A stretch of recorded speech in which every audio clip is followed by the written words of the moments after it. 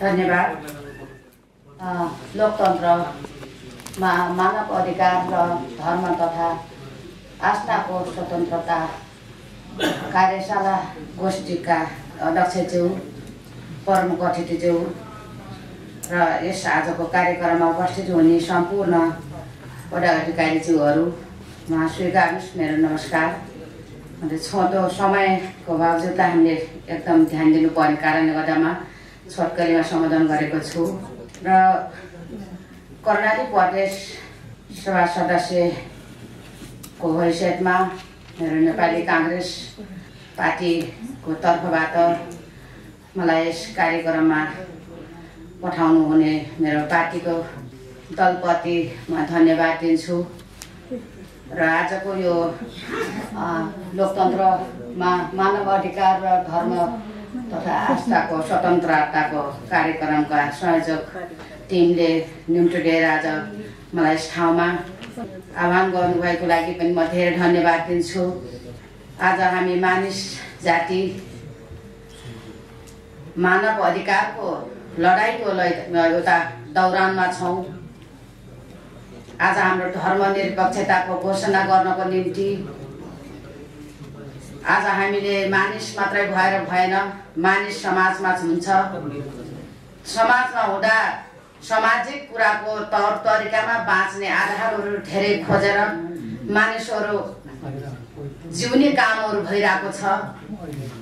त्यस कारणले गर्दा आज धर्म होइन तर धार्मिक जीवन हो। धार्मिक जीवनले देशलाई परिवर्तन पनि गर्छ। र धार्मिक कुराले स्वतन्त्रता दिएर आफ्नो जीवन आफैलाई पनि स्वतन्त्र गर्ने कुरा चाहिँ ल्याउँछ। त्यस कारणले गर्दा आज इसाई धर्म मान्ने धर्मावलम्बी व्यक्तिहरूलाई आज धर्मनिरपेक्षताको रूपमा राज्यले संविधानको दायरामा धर्मनिरपेक्षता गर्ने भन्ने एउटा नियम त लागू गरेको कुराहरू आज संविधानको पुस्तकमा लेखिएको कुरा हामी सबैलाई जानकारी छ। सबैले आज धर्मनिरपेक्षता पायौँ भनेर हामी आज सबै धर्मावलम्बी व्यक्तिहरू स्वतन्त्रतामा जिउन पनि चाह्यौँ। तर स्वतन्त्रता कहाँ छ? स्वतन्त्रता कसले दिने? आज राज्यले त्यो स्वतन्त्रता दिने भनेर अधिकार सङ्घीय निर्माणताहरू बनेका छन्। र आज प्रदेश संहिता बनेका छन्। स्थानीय संहिता बनेका छन्। के आज सबै धर्मावलम्बी मानिसहरूको हक र अधिकार सुनिश्चित गर्नलाई होइन र? जनताको हक र अधिकारमा हामी सबै लड्ने छौँ र नीति बनाएर हामी अगाडि जनतालाई बचाउने छौँ। भन्ने कुराको आस्थामा विभिन्न दल र नेता वर्गज्यूहरूको एउटा अभियान होइन र त्यस कारणले गर्दा आज हाम्रो नेपाल देश चाहिँ धर्मनिरपेक्षताको कुरामा त हर्ष- हर्षित भएको छ तर देश बचाऊ राष्ट्र जोगाऊ भन्ने अभियानताका कुराहरू छैन। आज हाम्रो नेपालमा चाहिँ नेपाल देशले मलाई बचाऊ भनेर खोजिरहेको छ। तर नेपालमा भएका सबै मानवले आज हामीले अधिकार पाउनुपर्छ भनेर नेपाल आमाका जनताहरू रोइरहेका कुराहरू छन्। त्यस कारणले गर्दा आज विभिन्न दल विभिन्न पार्टी मिलेर आज राणा शासनहरू तोडिएका छन् पञ्चायती व्यवस्था फालिएका थिए बौद्धवी व्यवस्था पनि फालिए आज लोकतन्त्र व्यवस्थामा अब आज हामी छौँ अब भविष्यमा चाहिँ हामी गणतन्त्र देशमा पुग्नुपर्ने कुराहरू आइरहेको छ।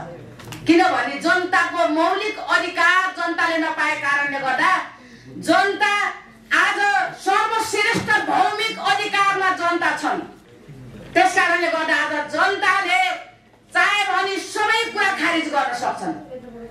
जनताले राजा बन्न सके।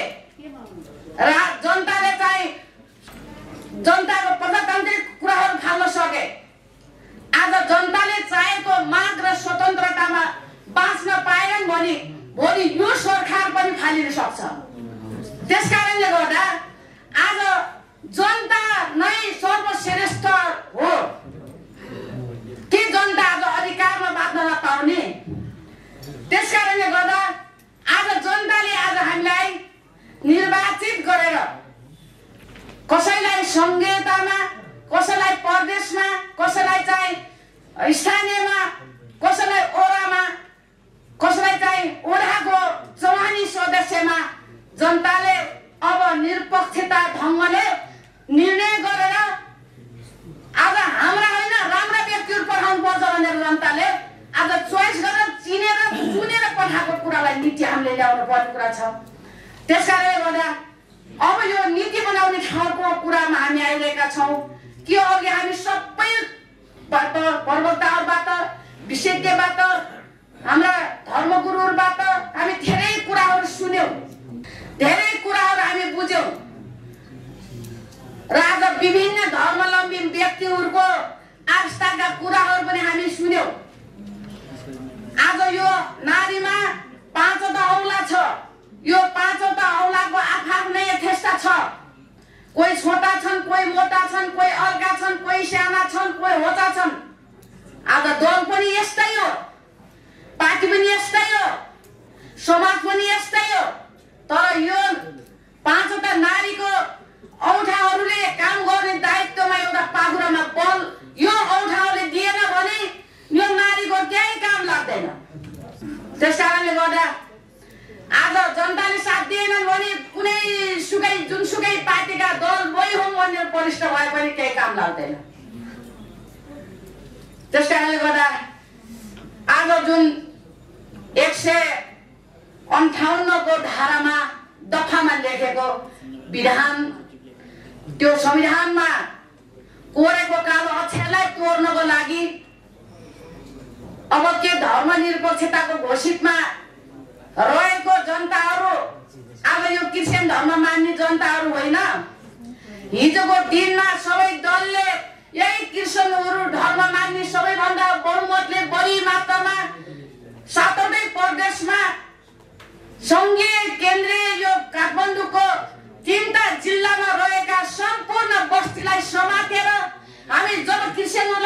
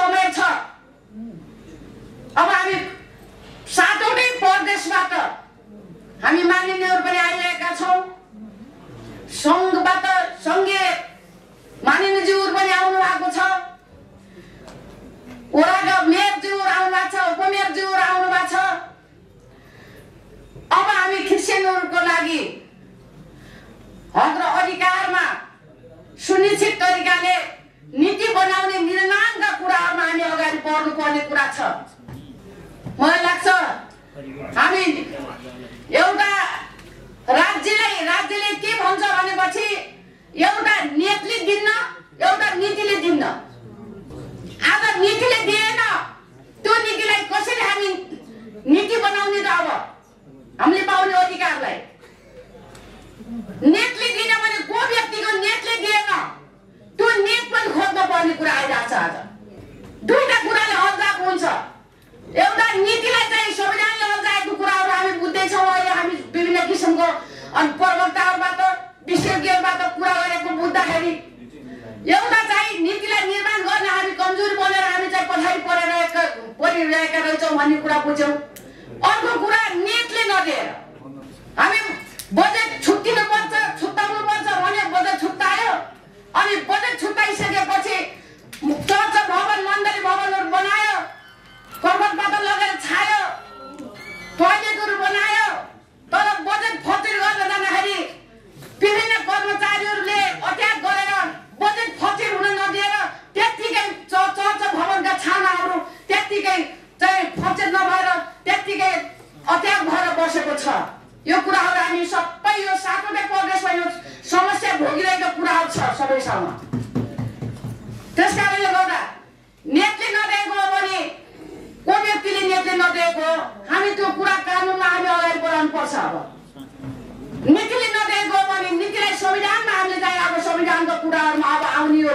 बनाउने बेलामा नीति हामी कसरी अगाडि बढाउने कुन कुराको नीतिलाई हामी चाहिँ अब चिरफार गर्ने त्यो कुराहरूलाई हामी चाहिँ विशेष ध्यान दिनको लागि आज सायद यो लोकतन्त्र मानव एउटा धर्म अधिकारको अधिकारको र धर्म आस्थाको स्वतन्त्रताको यो कार्यक्रम राखेको होला जस्तो मलाई लागिरहेको छ।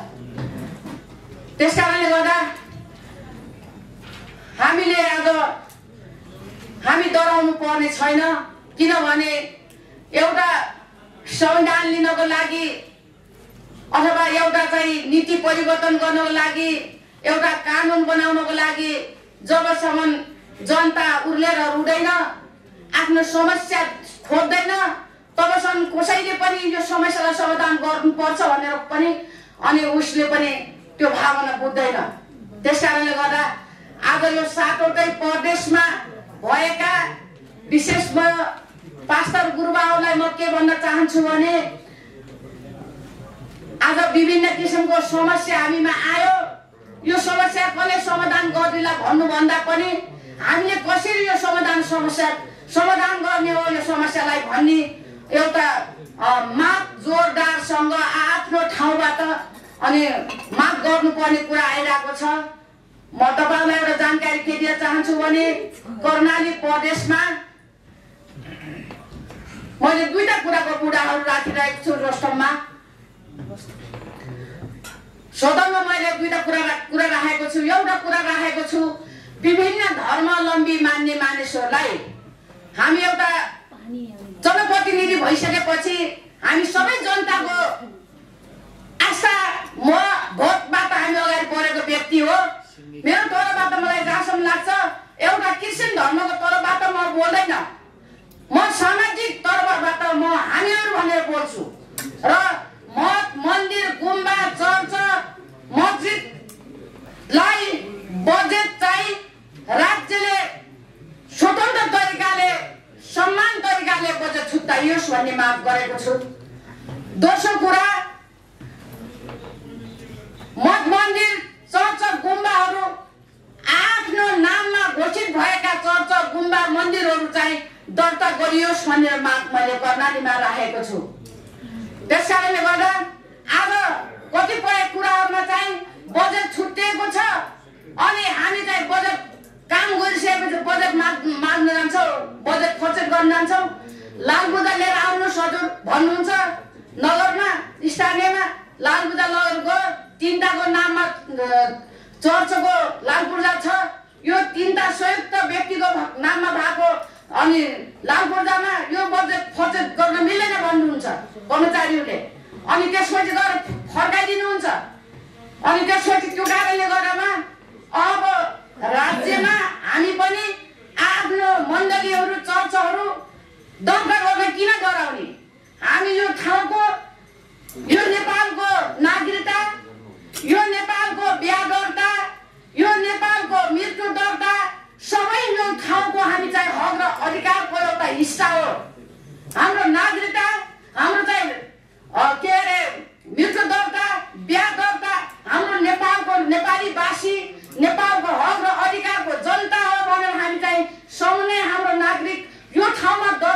नेपालमा दर्ता छ भने हाम्रो चर्च दर्ता गर्न के भारी त्यस कारणले गर्दा हामी चर्चहरू दर्ता गर्न तयारी हुनुपर्छ। राज्यको वियोजन गरेको बजेटलाई पनि हाम्रा मण्डली चर्चहरू बनाउने निर्माणताको घोषणा हामीले गर्न सिक्नुपर्छ। त्यस कारणले गर्दा आज हाम्रो चौध अञ्चल सतहत्तर जिल्लाभित्र भएका विभिन्न तरिकाको मण्डलीहरू छ। एक आपसमा एकतामा ल्याउनु आउनुपर्छ। एकजुट हुनुपर्छ। कतिपय कुराहरू हामी चाहिँ इसाई समाजहरू एकता नभएको कारणले गर्दा एकता नभएको कारणले गर्दामा मौकाहरूले पाइरहेका छन्। आज हामी एकतामा बस्नु जरुरी छ। एकतामा बल छ। मैले अघि नै मेरो नारीलाई देखाएँ। यो नारीले बल पाउने हो भने पाँचवटा होला यस्तै मुठी पर्नुपर्छ। त्यस कारणले गर्दा जब हाम्रो यो नारी मुठी पर्छ तब चाहिँ हाम्रो नारीमा बल पुग्छ हामी ठुला पनि उचालेर बाहिर गर्न सक्छौँ। क्रिस्चियन समाजहरू एकतामा हुनुहोस्। त्यस कारणले गर्दा आज राज्यमा नहुने कुरा केही पनि छैन।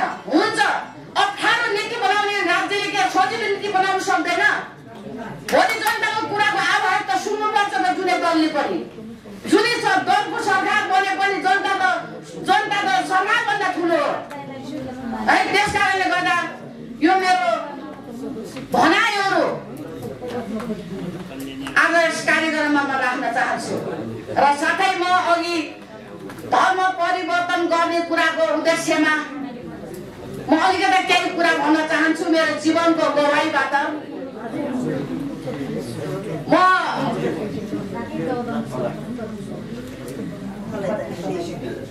त्यस कारणले गर्दा अब त्यो धर्म परिवर्तन गर्ने कुरामा पनि के छ भनेपछि अब कर कापले धर्म परिवर्तन गर्न कसै पनि मिल्दैन कसै धर्मलाई पनि खबरदार हुँदैन मेरो मान्यता है जबरजस्ती कसैको धर्म छ त्यो धर्मबाट यता आऊ यस्तो ठाउँ गर उस्तो ठाउँ गर म यो दिन्छु त्यो दिन्छु कसैले भन्नुहुन्न किनभने अर्काको धर्मलाई खलबलाउनु भनेको पाप हो। त्यस कारणले गर्दा कसैको कोही व्यक्ति कुनै कठिनाइ र समस्याले आउँछ भने आफै खोजेर आउँछ भने त्यसलाई दया निकाल्ने हो धर्मले। त्यही मतलब म एउटा कुरा के भन्छु भने बाहन्न सालमा बाहन्न सालको असोजको पहिलो दोस्रो हप्तामा म चाहिँ बयालिस सालदेखि बिरामी भएको घटनाहरू म तपाईँहरूलाई भन्न चाहन्छु। यति छुटो छुटो मान्छे कसरी किसान भयो त के कसरी अमेरिका डलर दिएर भयो होला त होइन तर बयालिस सालदेखि बिरामी भएको मान्छे बाहन्न सालसम्म एघार वर्ष बिरामी हुँदाखेरि म चाहिँ क्रिस्चियन धर्म मान्नुपर्छ भनेर मलाई कोही सुसमाचार सुनाएको होइन तर मलाई चाहिँ राति सुतेको बेलामा यति सेतै फुलेको बुढा मान्छे आएर उसले मलाई के भन्यो